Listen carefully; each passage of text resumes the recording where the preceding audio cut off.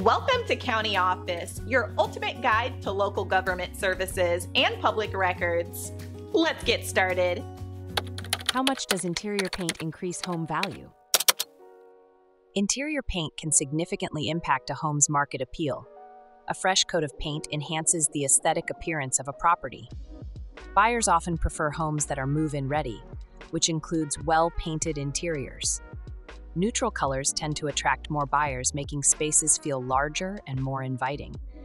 Bright or unconventional colors may not appeal to everyone and could deter potential buyers. The quality of the paint used also plays a role in perceived value. High quality paint can last longer and maintain its appearance better than lower quality options.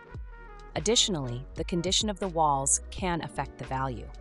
Cracked or peeling paint may signal neglect, leading to lower offers. Conversely, well maintained walls suggest a home has been cared for, potentially increasing its value. The return on investment for painting can vary by location and market conditions. In competitive real estate markets, a fresh paint job may yield a quicker sale or higher selling price. However, in slower markets, the impact may be less pronounced.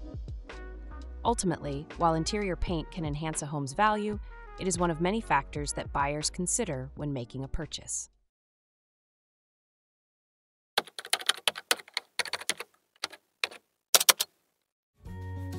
To learn more, check out these links, which you can click in the description below. And feel free to comment your questions. We're here to help. Thanks for tuning in to our video. Please like and subscribe and leave a comment below. See you in the next video.